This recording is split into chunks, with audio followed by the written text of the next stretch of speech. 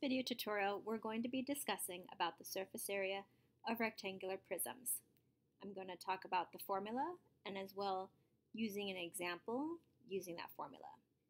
So the surface area of a rectangular prism is the sum of all the areas of all the sides of the rectangular prism. So here's a picture of a rectangular prism and the bases that are outlined in red, there's always going to be two bases, one at the bottom, one at the top.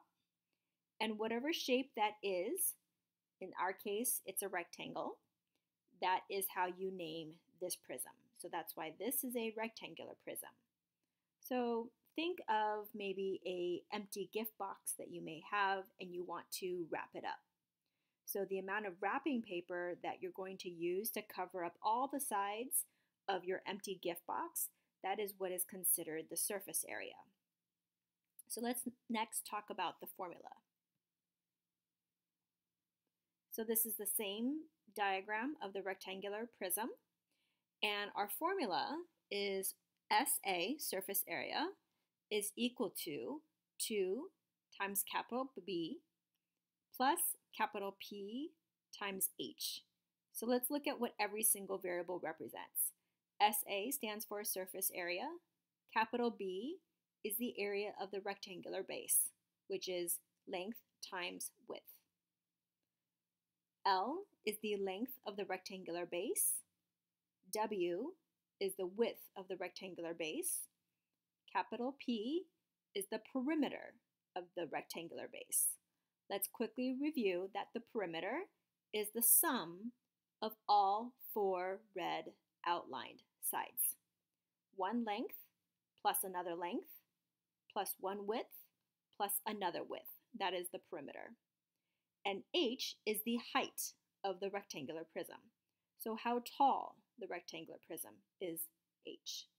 Now let's look at an example. Again, we have another picture of a rectangular prism. And our formula that we'll be using is 2 times capital B plus capital P times H. So again, the bases, the rectangular bases, are outlined in red. Let's take a look at the length and the width. Are you able to identify the length and the width of your rectangle? Let's see if your length is correct. Should be 10, and your width should be 3. So now capital B stands for the area of the rectangular base. So do you remember how to find the area of a rectangle? Let's see if you're correct. 3 times 10 would be 30. Now look at how tall our prism is. That would be variable h. That would be 6. And capital P stands for the perimeter of your rectangular base. So here is your red outlined rectangular base. How do you find the perimeter? Let's check if you have the right perimeter value. Should be 26. So now we're going to apply this formula and substitute the values. 2 times capital B, which is 30, plus the perimeter, which is 26, times h, which is 6. Let's do our calculations.